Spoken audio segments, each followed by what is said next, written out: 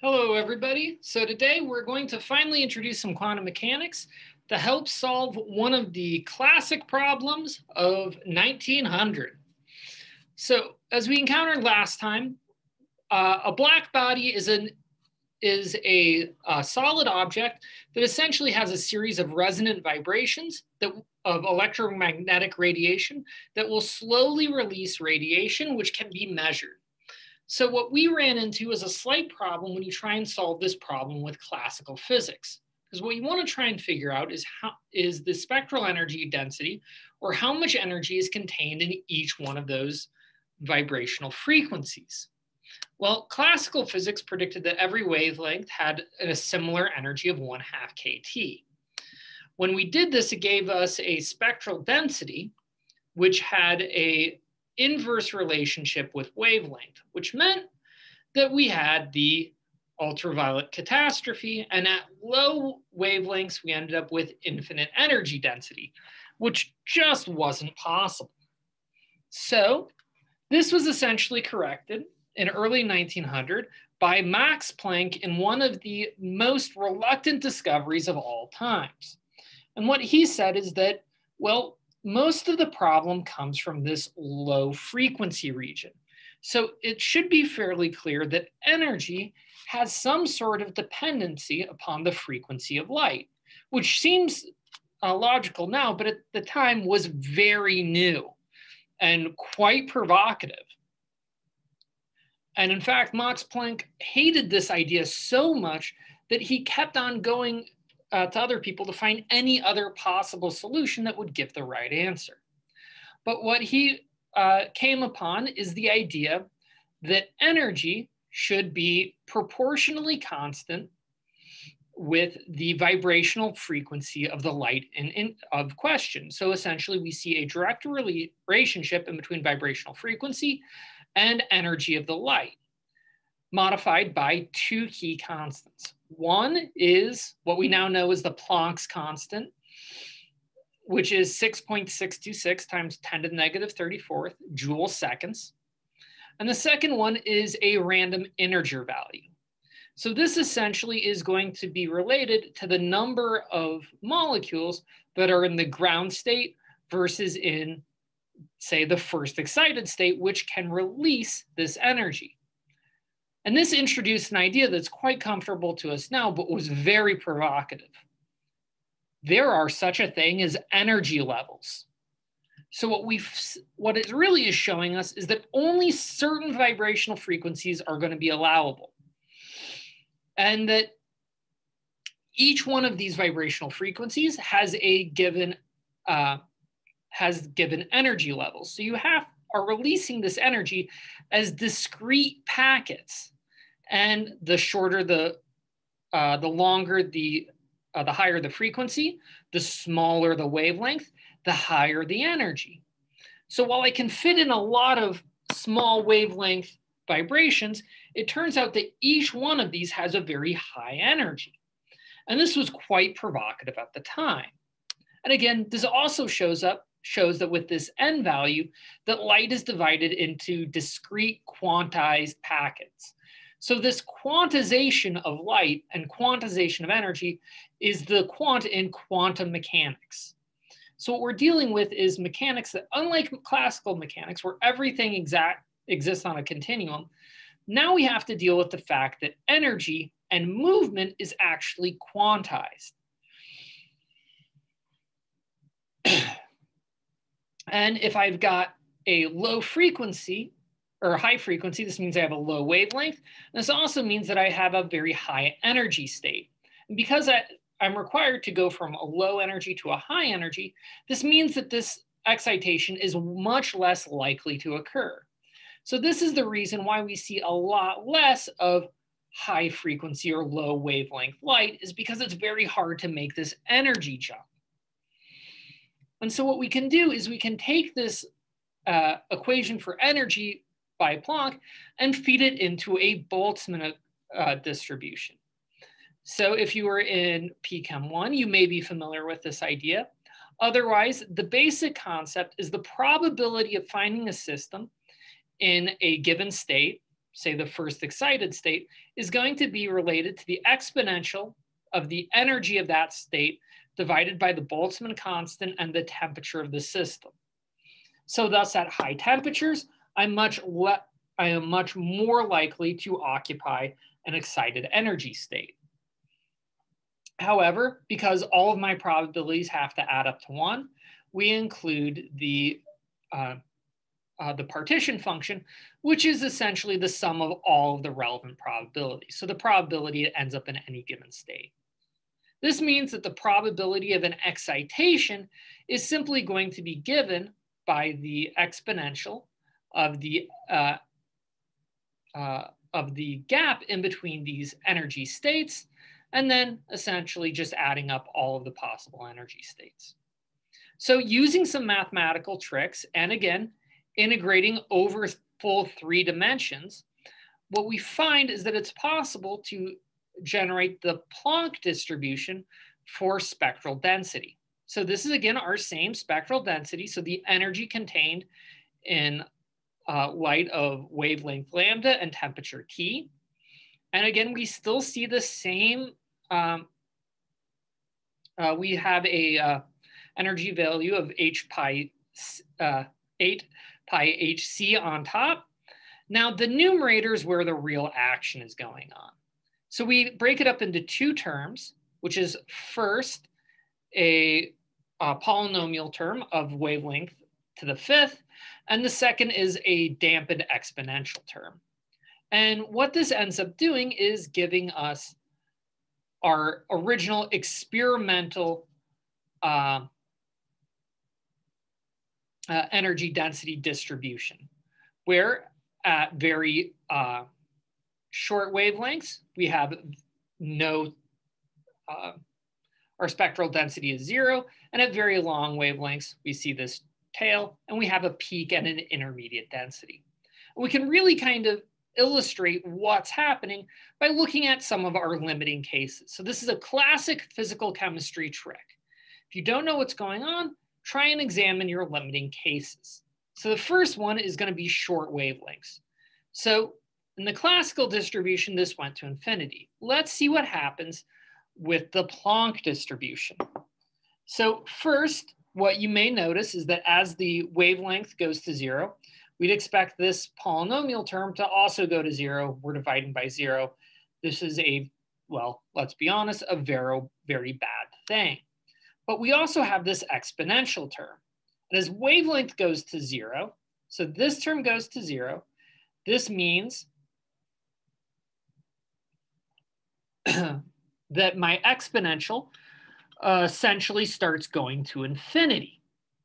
And what ends up happening is that my exponential is going to go to infinity faster than my polynomial term approaches zero, which means that I can approximate this whole bottom term as infinity. So anything divided by infinity should essentially give a value of zero. So what we tend to see is that at short wavelengths, so small lambdas, my whole spectral density should go to zero. And congratulations, this is what we predict, and it avoids the classical physics problem of the ultraviolet catastrophe. But let, let's also think about what this physically means. What we see here is that as my wavelength goes to zero, what I have is a lot more energy in my system because low wavelength light, huge energies. But the problem is that this what this exponential term demonstrates is that under these high wavelengths, I'm very unlikely to get there. So it's going to be very hard to obtain these high wavelength lights. And this is what essentially dampens our, our function. So while I have a lot of energy whenever I do release a photon down here, I'm very unlikely to make a huge uh, energy leap at most temperatures high enough temperature, and sure, you can make this work. But you'll never really get much production in the ultraviolet region. Now let's go ahead and take a look at the other region. So this is the region that classical physics actually succeeded in. So Rayleigh-Jeans was pretty good in this area, and let's see if we can go ahead and replicate the results. So for long wavelengths, lambda goes to infinity. Now what we uh, can do is we can treat my exponential function with a power expansion. We're gonna truncate it after the first term. So what we have here is one plus hc over lambda kt. So essentially what you're doing is you're pulling the exponential down and it's one plus that. Now when we do this, well, we get a one plus and then we get a minus one. So these ones just end up canceling out. And what I'm left with is, well, I'm gonna have some HCs that will cancel out. I'll have a single lambda term that cancels out. And all I'm gonna be left with is uh, 8 pi kt over lambda to the fourth. And lo and behold, this should look fairly familiar as this long wavelength spectral density is the same answer we got for Rayleigh Jeans. So this was the part that classical physics actually got right. So what this means that what Planck distributions uh, does is it essentially gets us the, uh, the classical answers at long wavelengths while giving us a value that goes to zero at short wavelengths. So likely what this means is that if I'm good at the two ends, I'm also good about at the middle. And so the Planck distribution, in addition to doing good at long and short wavelengths, should also give us a lot of information about intermediate wavelengths. And one of the reasons why this is actually really important to have is it turns out that being able to determine, say, the spectral density at these intermediate wavelengths is usually one of the tools we make use of in order to determine, say, the temperature of distant stars. Because if you're able to measure a spectral density coming off of a star, well, you can just simply figure out what temperature will give you that result. So Planck distribution was actually a huge boon to astrono uh, astronomical discoveries as well. But we also want to make sure that it can generate our two classic distributions. First of all, we really want to make sure it can nail Wien's law. And as a reminder, Wien's law was our uh, was the correct prediction of the uh, maximum wavelength. So this is essentially the peak wavelength at those intermediate uh, energies. And so what we can do is we can actually try and determine the most likely wavelength, so this lambda max, by simply taking the first derivative of the energy density uh, with respect to wavelength. So take this, set it equal to zero, I should be able to find the most probable or maximum value. Now, because this is a uh, PChem class and not a calc class, we'll go ahead and jump over this derivative. But trust me that what this ends up essentially producing is a value of HC over 5K. So you can start to see where the HC comes in. 5 comes from uh, my lambda term, and then of course k's along for the ride here.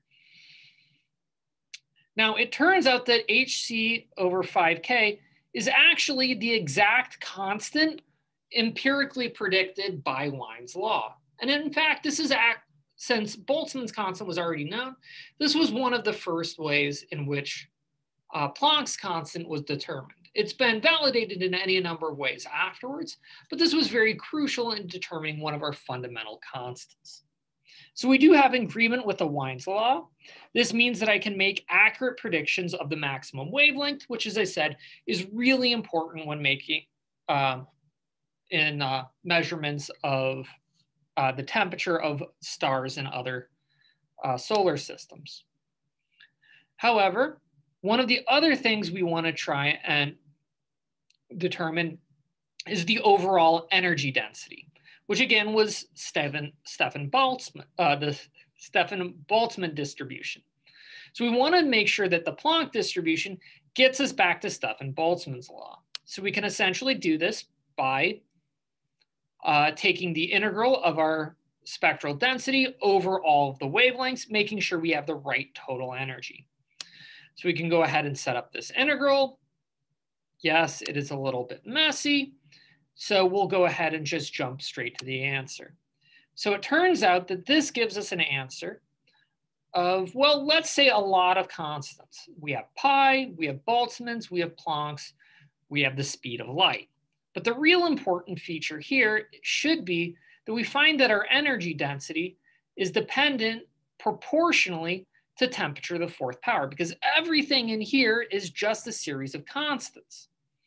So we do actually get Stefan Boltzmann's law back where we have a dependency on the temperature to the fourth power. But not just that, it turns out when you actually calculate the value of this huge mass of constants, it actually gets you the constant from Stefan Boltzmann's law. So yeah, this actually is exactly what you're looking at when you're founding a new branch of physics, is that by making a couple of key approximations, it doesn't just reproduce one or two of the findings, it reproduces all of the findings. And in this case, Planck's distribution, uh, uh, Planck's insight to light, no matter how reluctant he was to make it, was really important in solving all of the features of the behavior of a black body system. But what I want to focus on before, uh, before we end is one of the, is the sets of key lessons that we get from black body radiation. First of all, and this one is really important, is that light moves in quantized packets. We'll later develop this into the idea of photons. Second, and this one can't be understated, uh, or overstated, chemical systems have quantized energy levels. So this ends up eventually leading to the idea of atomic and molecular orbitals, which is going to be a major feature of this course. So the next bit, and this one is very important when using light to determine a system, is as we almost started on day one, the energy of light is going to be proportional to the frequency of the light. Now, this is also one of the reasons why wave numbers is so common because it's also, the energy of light is also going to be proportional to the wave numbers. You just have to add in an extra uh, uh, speed of light constant to essentially correct for your units. And again, then watch out because we're typically producing wave numbers in centimeters and not meters. And finally, one of the biggest ones is how uh, quantization of energy relates to the Boltzmann distribution. So what we find is that if energy levels are going to be quantized, this means that they're separated, uh, that they're separated in how likely they are to occur. Low energy level system, uh, low energy levels are going to be frequently occupied. High energy levels, very uncommonly occupied. And this is going to give us a way to describe how likely we are to find a molecule or an atom in a given state, as long as I know the structure of the system and the temperature of the system. Uh, this focus on the temperature is going to be much more a feature of statistical mechanics. So we're going to be focusing a lot more on this idea of energy levels, and I'll occasionally bring up the idea of temperature to indicate whether something is or is not likely to be occupied as we kind of work through the material. But one of the biggest things is that these first set of approximations are super useful in providing the building blocks for quantum mechanics. These are essentially going to be our first assumptions as we move forward. We're going to essentially round out these a little bit next time as we talk about how we can use quantum mechanics to essentially correct for a couple other failings of classical physics. Until then, take care.